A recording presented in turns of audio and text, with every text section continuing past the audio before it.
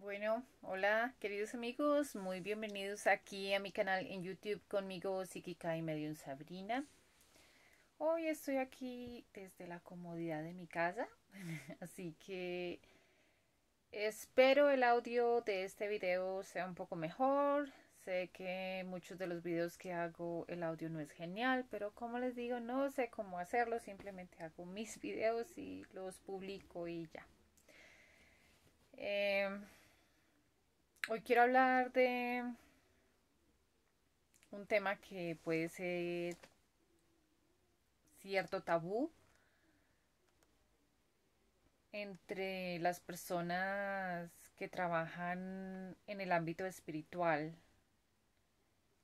Y mm, que yo siento que es algo que debo aclarar y voy a dejar este video, cosa que si alguien nuevamente vuelve a decir algo Simplemente se los voy a postear, se los voy a publicar y esta será la respuesta. Entonces, bueno, el video se trata sobre el dinero, la plata, como lo llamen, money, y la espiritualidad. Entonces, esto lo hago porque hay muchas personas que siempre dicen, es que tú tienes un regalo de Dios y como es un regalo de Dios no se tiene por qué cobrar. Es que hay muchos famosos que ya ni, ni me acuerdo los nombres, pero eran unos brasileros y bueno, quizás diferentes países del mundo, que trabajaban de una forma gratuita. Digo, gratuita, porque esa gente recibían muchas donaciones y eso también es recibir dinero. Esa es otra manera de cobrar. Y mm, entonces que porque ellos lo hacían, las demás personas que lo hacen no son espirituales, em, que no deben hacerlo, ¿no? Esta es una creencia que nace mucho en el espiritismo. Y mm, vaya, yo respeto al espiritismo, pero no es una creencia que me gusta en realidad. Hay muchas cosas bonitas de esa creencia, pero cuando la empecé a estudiar, la verdad no, no compaginó conmigo, no vibró conmigo y la verdad es que solo descargué un libro, leí un poquito y tuve que, o sea, borrar ese archivo de mi computador, no pude. Ahora respeto a aquellas personas que crean en Kardec, en su trabajo es maravilloso, o sea, yo no digo que no, pero vaya, lo, lo convirtieron como en un culto. Y yo soy de las personas que piensa que todo lo que es culto daña. Entonces, bueno, aquí voy a exponer mis puntos y porque yo pienso que una persona que trabaja en lo espiritual, en cualquier tema espiritual, debe cobrar. Primero que todo, nuestro tiempo es muy valioso. Y usualmente yo siempre digo, eh, yo cobro, o las personas que trabajan en esto, cobran no por el don, cobran por el tiempo. Entonces hay tiempo que yo dediqué estudiando, yo también fui estudiante, yo pagué cursos, unos más costosos, otros más económicos, pero invertí dinero y tiempo en esto. No fue gratuito para mí porque nada en realidad lo es. De una manera u otra va a haber un intercambio de algo, así no sea dinero. Entonces, el tiempo es muy importante. Y uno no puede, uno quisiera todo el tiempo estar dando lecturas gratuitas, pero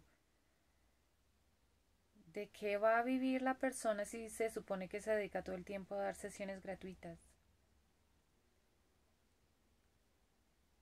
Es difícil. Hay que pagar comida, servicios, arriendo, o alquiler o como lo llamen en sus países, nada es gratis. Entonces, si una persona se dedica a esto, tiene que cobrar. Entonces, aparte del tiempo, lo que yo le digo a las personas que me escriben esto es que todos nacemos con los dones. Y yo tomé la decisión de entrenarme, tomé la decisión de pagar cursos me tomé el tiempo y los años para dedicar a desarrollar esos dones, facultades, como le llamen. Y lo logré. He compartido mucha información en cómo ustedes pueden hacerlo desde sus casas sin necesidad de hacer el diploma que yo tengo en la academia. Totalmente gratis. Y si ya ustedes no quieren hacerlo, eso ya es cosa de ustedes. Ahí están las herramientas. Desarrollense y sean sus propios psíquicos y medios. Porque si una persona viene a uno es porque quiere el servicio. Yo me preparé para eso. Cualquier otra persona se preparó para esto. Así que yo lo veo de esta manera. Es un don, todos lo tenemos. Un futbolista tiene el don. Tiene un don. Y ellos cobran. Entonces no veo por qué una persona que trabaje en lo espiritual no pueda cobrar. Entonces, nada en realidad es gratuito, o sea, de cierta manera nosotros tenemos que ver que todo en el universo es energía. Todo en el universo está compuesto de energía. Y de igual manera el dinero, la plata, es energía, lo es. Entonces cuando tú estás ofreciendo un servicio, estás intercambiando energía. Estás intercambiando tu don, tu tiempo, por dinero. Es un intercambio. Y como digo, así las personas que dicen que, que aquellas personas que lo hacían gratuito, Em, no cobraban, lógicamente, pero ellos recibían donaciones, eso también es dinero. Entonces, el recibir el dinero es como decir yo soy o yo estoy participando como en esta mm, en esta transacción de cambio de energía. Estoy aceptando. En pocas palabras, estoy aceptando que estoy ofreciendo un servicio por eh, dinero. Estoy dando energía por energía. Entonces yo pienso que debemos comenzar a cambiar esa percepción de que estos dones nos los regaló Dios y por eso no debemos cobrar. Porque Dios nos lo dio a todos y yo tomé el tiempo para desarrollarlo. Si aquella persona que exige una sesión o una ayuda gratuita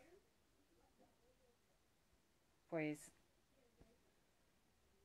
piensa que esto se debe dar gratis. Está equivocado. Ahora, ya aclarando un poco sobre esto, hay otras personas que no conocen mi trabajo, no conocen el trabajo de los estudiantes de la academia, no conocen nada.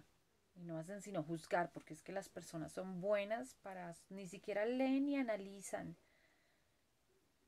sino comentan de una vez están ahí atacando. Y yo no soy de las personas que ando publicando todo lo que hago. ¿para qué?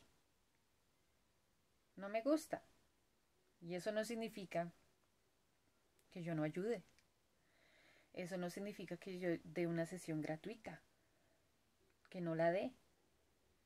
Yo las doy. Y yo sé a quién dárselas. Yo no se las doy a todo el mundo. Porque no todo el mundo las va a necesitar, sinceramente.